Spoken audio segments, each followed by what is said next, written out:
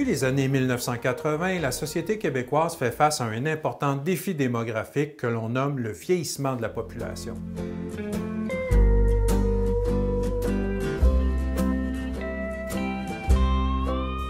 Ce phénomène correspond à une augmentation importante de la portion de personnes âgées dans la population totale.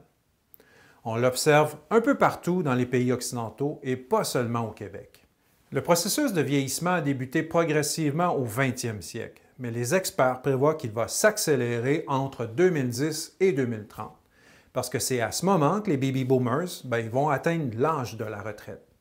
En effet, la part des personnes âgées de plus de 65 ans au Québec est passée de 6% en 1950 à 15% en 2010 et on prévoit qu'elle va atteindre 25% en 2030. Le vieillissement de la population s'explique d'abord par une forte diminution de la natalité. Au Québec, le nombre moyen d'enfants par femme est passé de 3,9 en 1960 à 1,5 en 2020.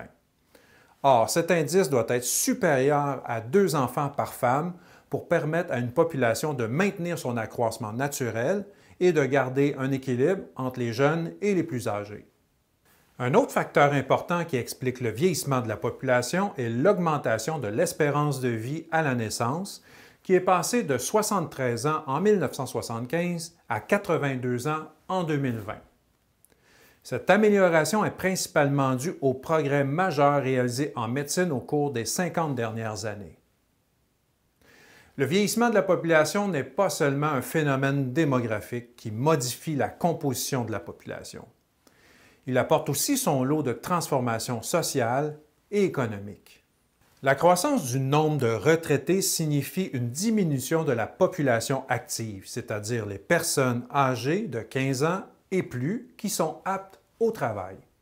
En 1970, pour chaque retraité, il y avait six personnes en âge de travailler.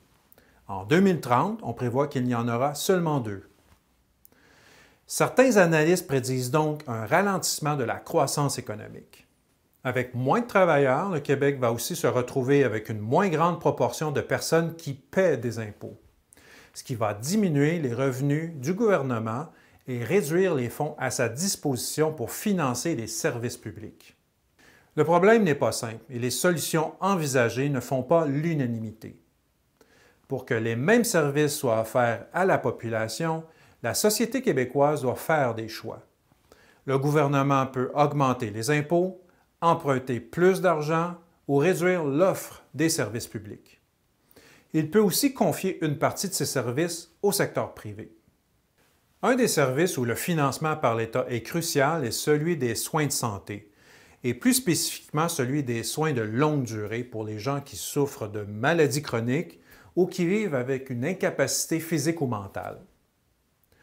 En raison de leurs conditions, ces personnes ont besoin d'aide pour accomplir des choses de la vie quotidienne comme se laver, s'habiller ou cuisiner les experts prévoient que le nombre de personnes ayant besoin de soins de longue durée va doubler dans la province entre 2006 et 2031 à cause du vieillissement de la population. Les gouvernements ont tenté différentes stratégies pour faire augmenter le plus possible la population active par rapport aux retraités.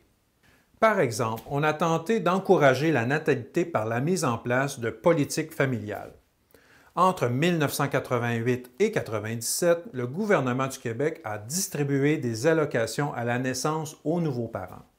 En 1997, ce programme est remplacé par une nouvelle politique familiale qui met en place le réseau des centres de la petite enfance.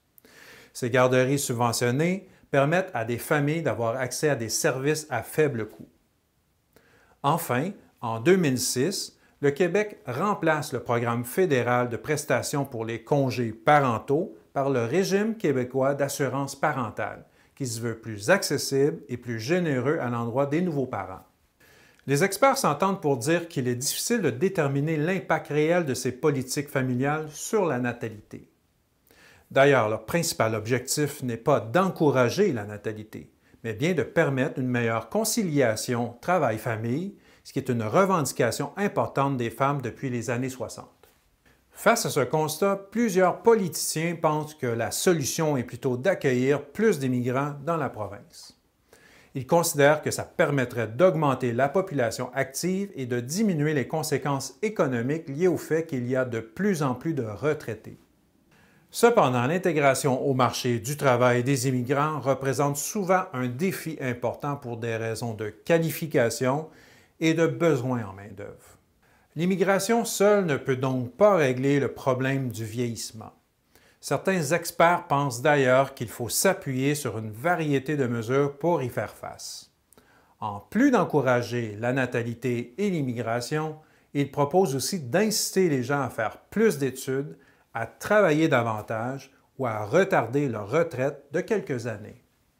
Au final, il n'existe pas de consensus sur les solutions à privilégier pour surmonter les défis liés au vieillissement de la population. Le poids de ce phénomène sur les finances publiques va certainement placer le Québec devant des choix de société complexes dans les prochaines décennies.